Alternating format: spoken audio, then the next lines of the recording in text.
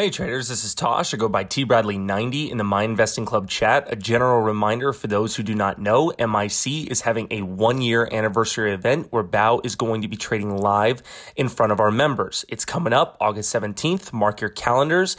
As an added benefit for our members, the event is 100% and exclusively free for annual and lifetime members.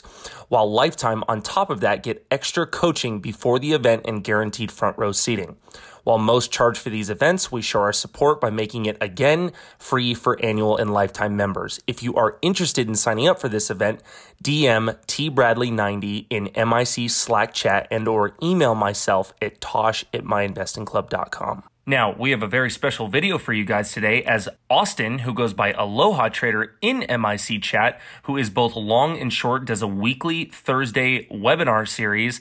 And this week is episode six, and he's going to talk about key trades of MLNT, market sentiment currently, and MIC strategies.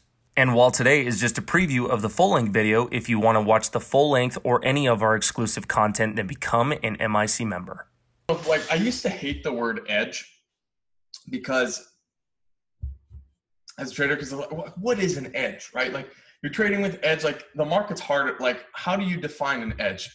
And the way I define an edge is anything that you have over another trader, right? Anything that you anything that you are better at than somebody else, basically. You have an advantage against other people, and we're going to get into it um, near the end. So a little preview. All right, so today I'm going to go over uh, some of the key trades of the week. Again, I'm scraping the barrel for these in summertime. It's what, what's cool is though about this is we're getting a little bit each week as far as plays. Is um, and I'm hoping that continues because that that can make summer durable. So, and we're going to go over our weekly market sentiment. Uh, a couple trader topics I've been getting a, a lot of questions on that I want to shed some light on, and um, uh, then we're going to do the trading center, and then we're going to end with Q and A. So get your questions ready. If you guys, you can start asking them now. I'm going to go back in Slack and and go through all of them. Um, and yeah, let's get to it. So key trades. So uh, I did a I did a. If you haven't seen, I did a full on uh, video recap going over my MLNT MLNT trade yesterday, and um, it's I, I, really like it because I actually learned something from the trade. Well, um, from from this trade, like I haven't like learned something like that, like a eureka moment in a very long time. So it was kind of fun for me because, and it wasn't really I learned something, but I more of confirmed something in my mind, right? So you know, and and I'll go over it. But one thing to take note before I get into the trade is that um, MLNT never broke trend, right? Like even from pre-market, it just kind of held this steady trend all day. And so I was shorting it on day one, fighting the trend, and I was doing my best. But just to keep in mind, this this didn't break trend until like the end of the day. So this is something that I was keeping an eye on all day, and why I was really quick to cut. Anyway, so MLNT, this was my trade. I did the recap on it, so I'll make this one pretty fast. Um, I was able to get the tops most of the times. Like I, I was able to identify the tops here, here, here, and here. That's what was pretty good. But there was just no continuation, right? We didn't roll. We didn't roll over here, which you know when I, which I was going for here. We didn't roll over here, which which is what the recycles were all about. We didn't roll over here, right? and like we didn't we didn't we didn't go like we finally did crack but still there was no rollover yesterday just the, the trend was just too strong all day a little recap uh, so, and then today I had a nice uh, ML. I had a nice day two. I had a nice day two trade on MLNT today. And after my first slide, I always, I always go back and check. Are we still?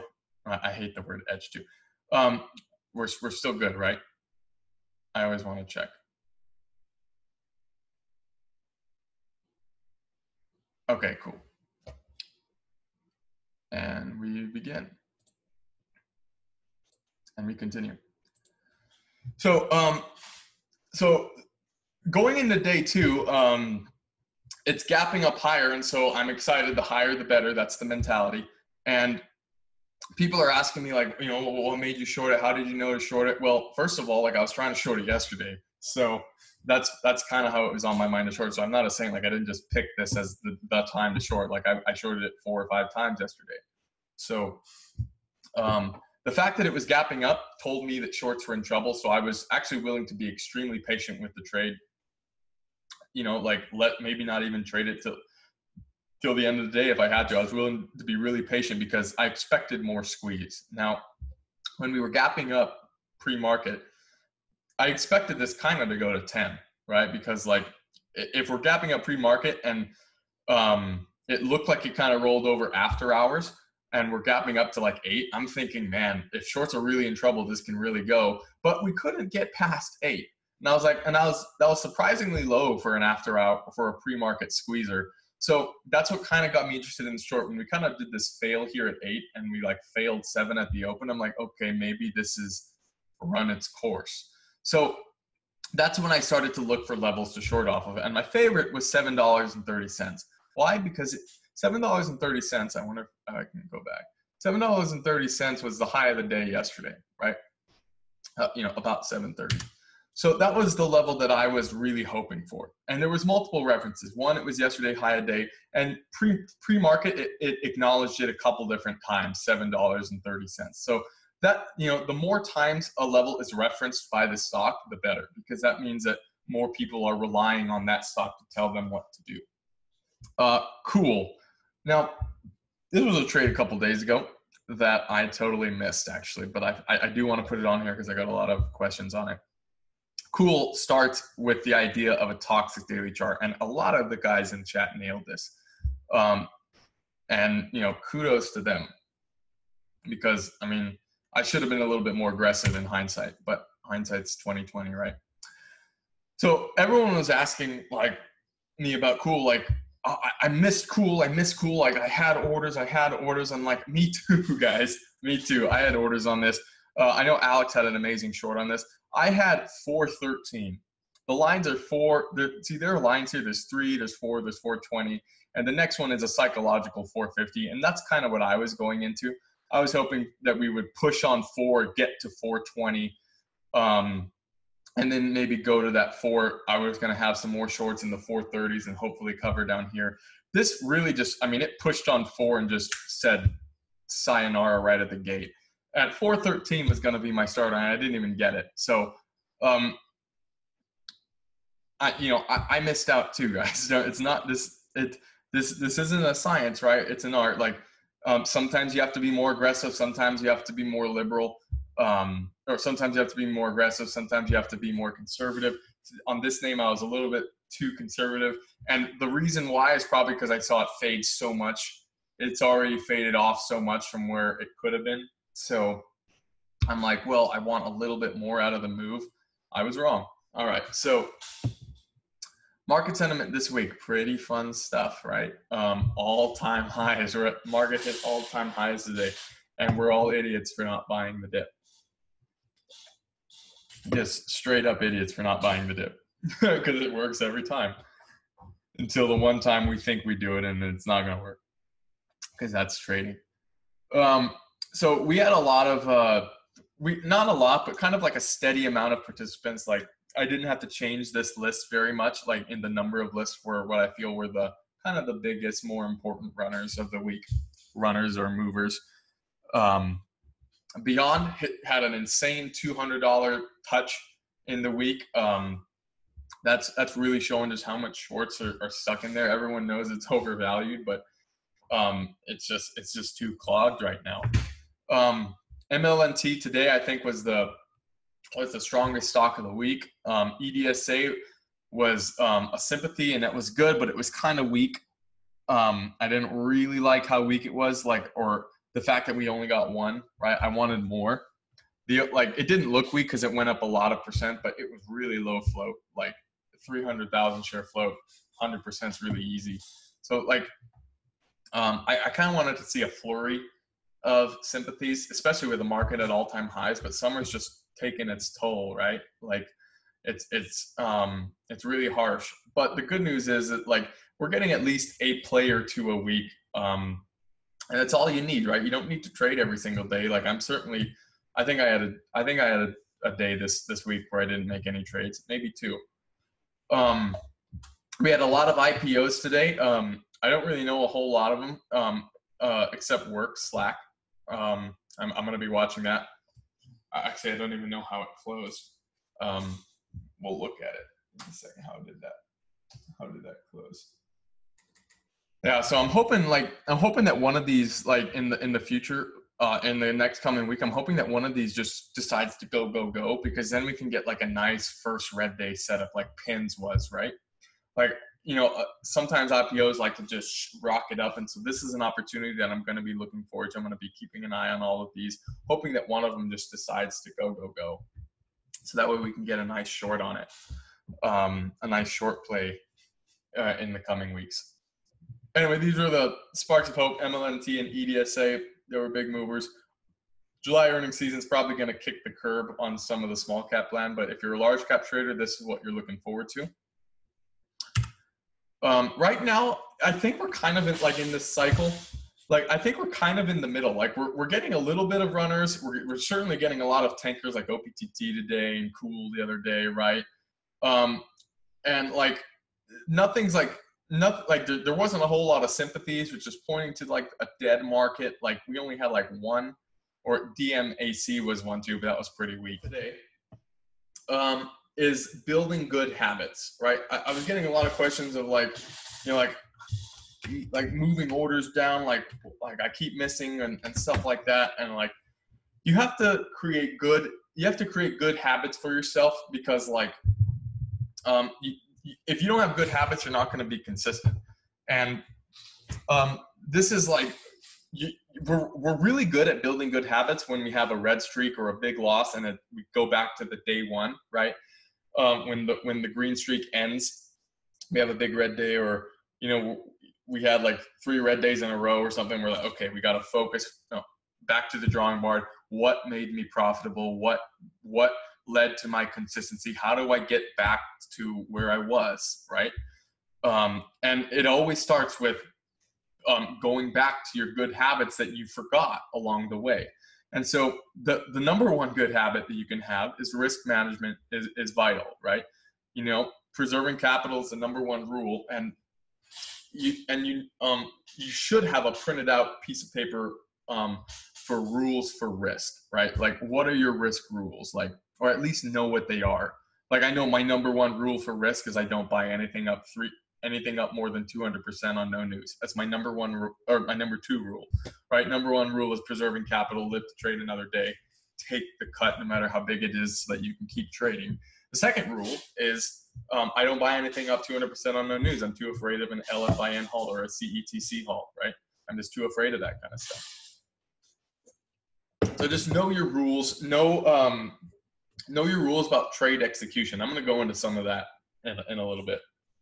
But um, uh, and knowing and, knowing your stops, knowing your stops is going to um, being aware of your stops is going to be is going to allow you the freedom in the trade to exercise your good habits because um, when when you're tra- when you don't know what your stops are or if you don't know what your stop is or you're not aware of your risk when risk management is not number one uh, I, I, I, maybe i can't speak for everybody but for me when i'm not actively aware of my risk, my trading's kind of all over the place because I'm just, you know, buying here, selling here, like shorting here, whatever it's going to be, right? I'm just kind of like freelancing everything and you know, like I might be just randomly stopping out of stuff because oh, I didn't like that, right? But like the reason why I didn't like that is because I'm not prepared for the trade. So when risk management is number one on your mind, um, it, it allows you the freedom to to trade the way you know you should. Like now you're free to practice your good habits because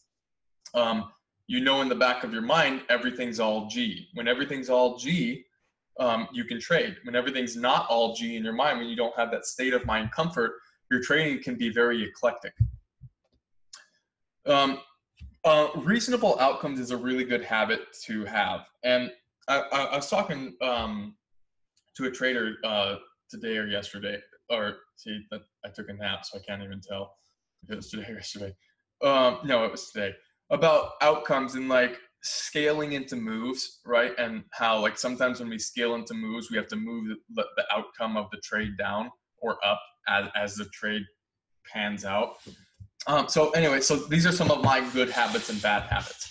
So some of the good habits that I have, I downsize if my entry sucks. So like if I enter into a bat, I will show you a great example for the second the slide is over. Um, I downsize if my entry sucks. Um, I also I'm very patient with my entry, right? And I can abstain for weeks. So these are some of my good habits. I don't have to I can I don't have to trade for weeks. If I don't see anything good, I really don't feel the need to to place the trades or at least anything with size. Like sometimes I'll dick around with with, with minuscule size but that that's that's how I justify it. Like it's minuscule. Um, but yeah, if I'm if I'm in a stock and I enter and and I know my and I don't like my entry, I immediately downsize. And I did this on MLNT when like I did like I shorted it, like when I shorted and covered, and then I accidentally covered, so I reshorted, but my average is shit. I just kind of covered it right away. That, that's a good habit that I have. It it protects my risk. All the good habits are going to be risk based. Um, I also grade my setups. Every single before I enter every trade out loud, I say, "This is an A setup. This is a B setup. This is a C setup," and I and I judge and I put my size on accordingly. So that's a really good habit that I have. That like I, I will literally say it out loud to keep this habit going.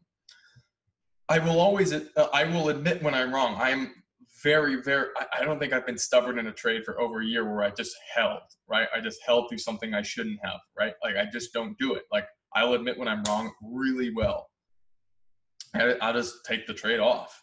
That's a really good habit that I have. And that my, my, my last good habit that I want to say, like I have a really good poker mindset. Like, um, I treat trading like poker and I don't let like one trade really F with my mind.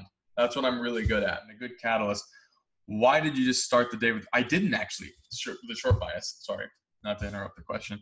What made you decide not to look for a first bounce on it, just trying to find out what determined your pre-market thesis since it moved so strong and upright? So good, good, good, good, good, good question. I actually did want to long it at first. I wanted to long it at 285.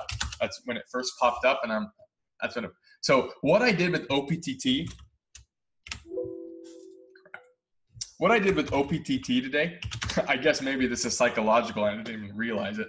What I did with OPTT today is what I wanted to do with MLNT yesterday.